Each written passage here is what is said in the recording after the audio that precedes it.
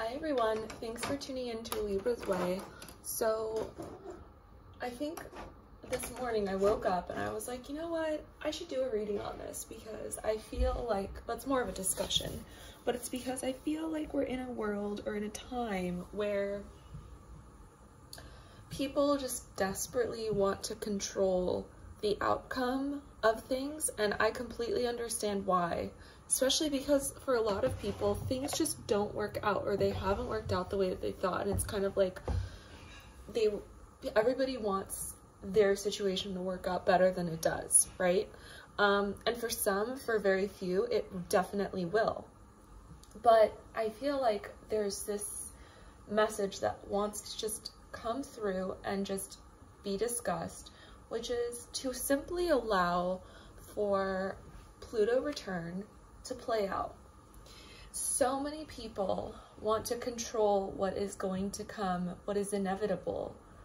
Um, and they want to control the outcome of, frankly, a lot of the pain and heartbreak and hurt that we've seen through wars, through controversies, through things in the Constitution or the Declaration being questioned. You know, so I completely understand that. However, there are certain events that are going to play out regardless of how we try to stop them because it's just not meant for them to be worked out. Now, when you do see certain things work out, it's likely because their astrological chart is aligned with that particular situation. So I mean, even if you were to look up why a certain person gets elected over another, frankly, it all boils down to their astrological chart.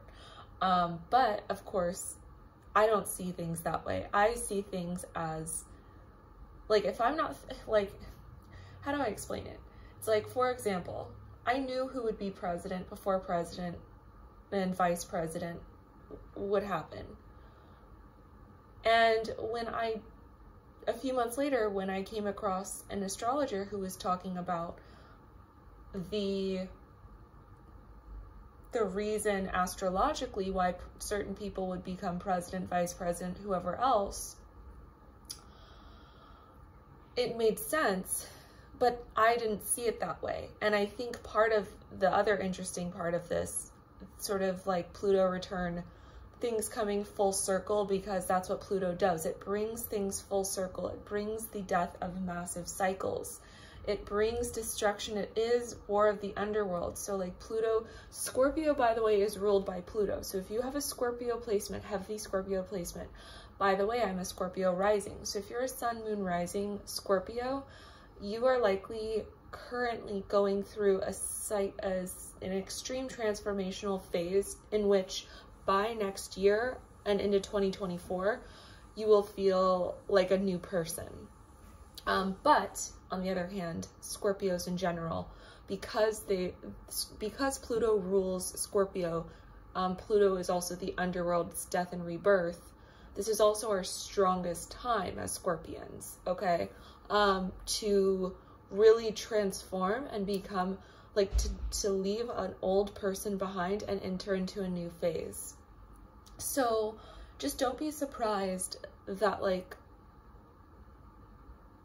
if you're a Scorpio or if you see Pluto return happening or if you know Scorpio personally that seems to be going through some sort of a death, a mini death process, like in their mind, in their hearts, some sort of a massive part of their life or certain scenario in their life is dying out, it's because a new phase is about to enter. So this means they could be saying things like, I want to move to another country. I want to go to grad school. I want to move up in my career. I want to move to another city or state. Um, I want to get married and I'm going to get married. It's this concept of I'm going to have kids. This type of big stuff that happens will happen between now and 2024, most likely, for Scorpios.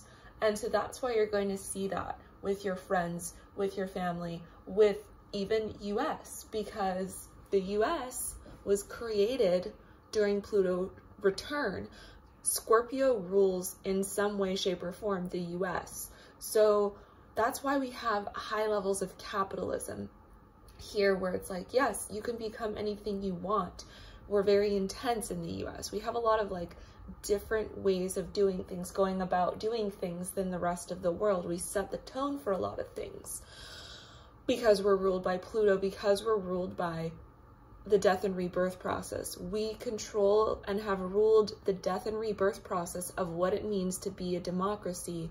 Of course, we used some of utilized, you know, ancient Greece and Rome um, as our sort of like mentor type of timeline, right? That's like a timeline that's a mentor to the US in a sense, um, which is very interesting. But you know, the big the big takeaway here is embrace what comes with Pluto return.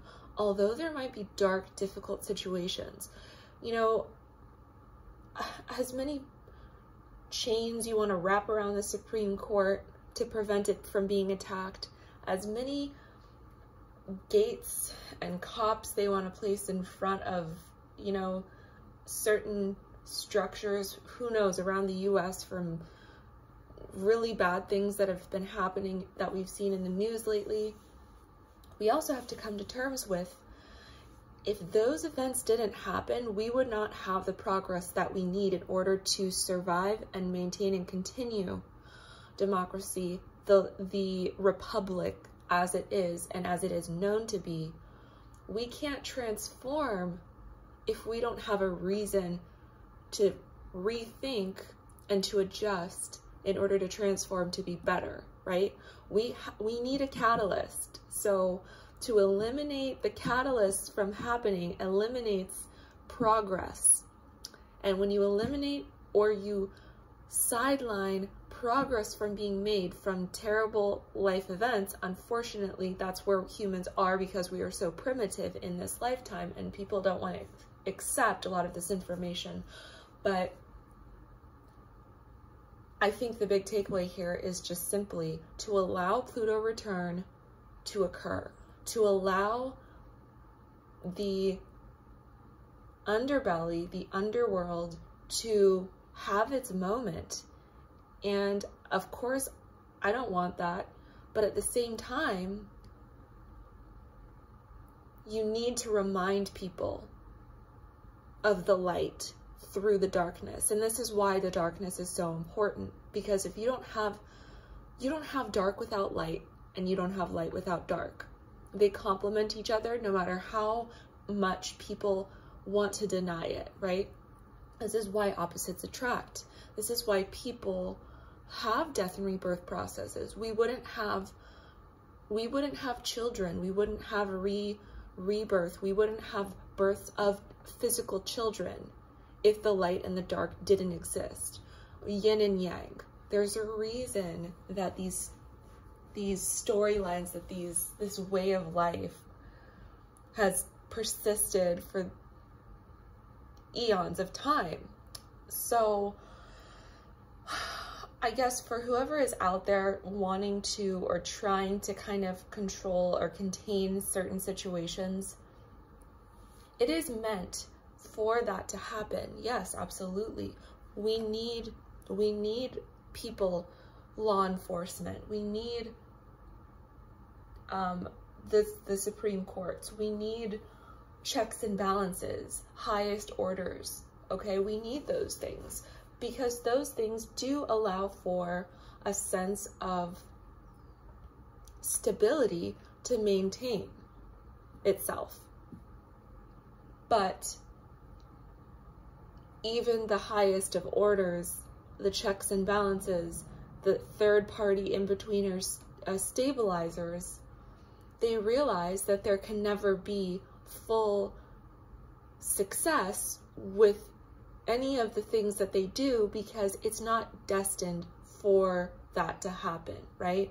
It's not destined for this third party, for these in-betweeners, for these checks and balances to to come to a complete fruition because there will always be something to learn because we as humans, primitive as we are, have not learned the massive lessons yet. And we won't until wars have completely been cut off, right?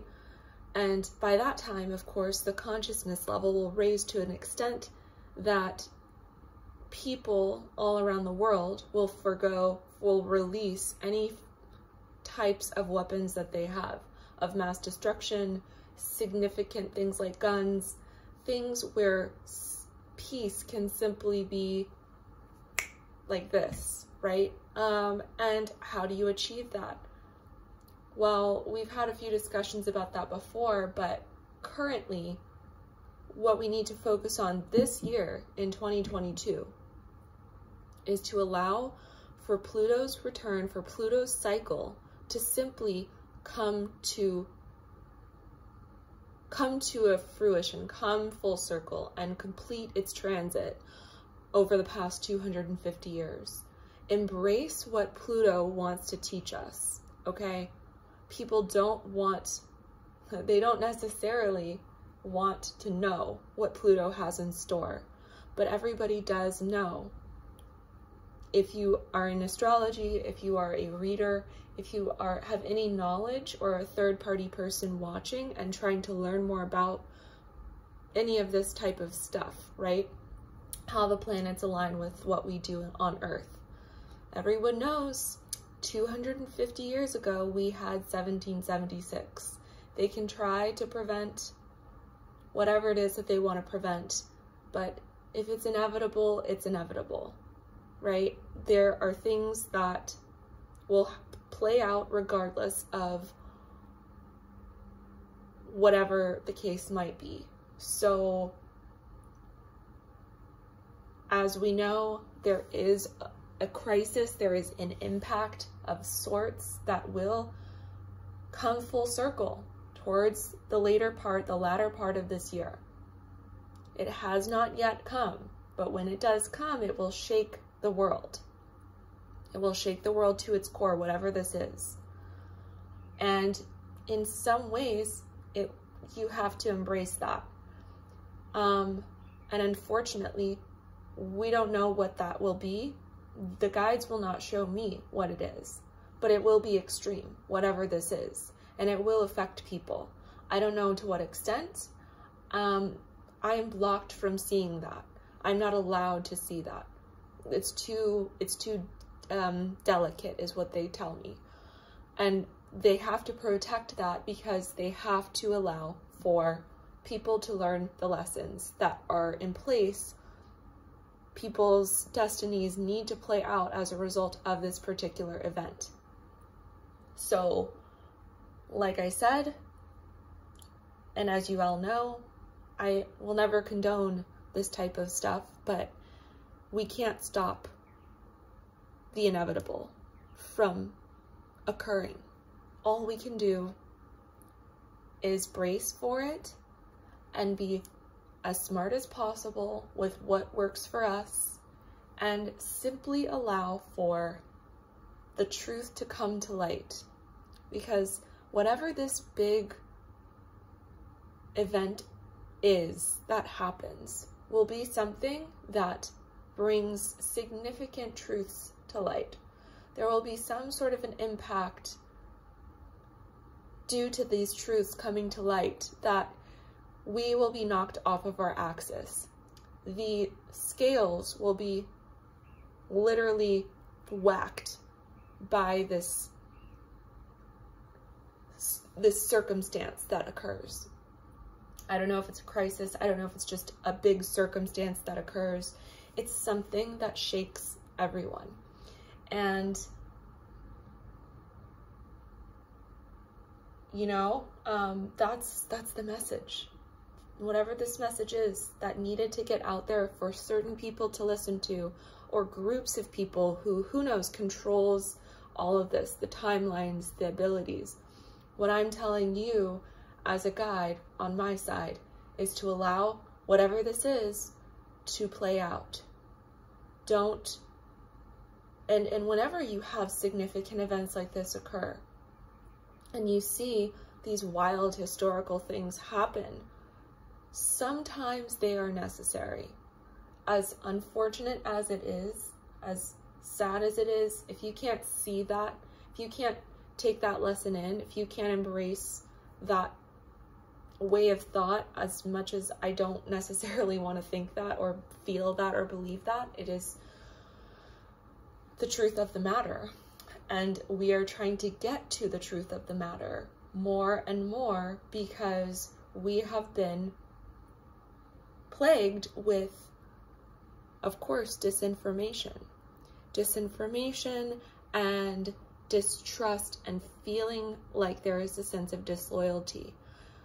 Watch how this plays out.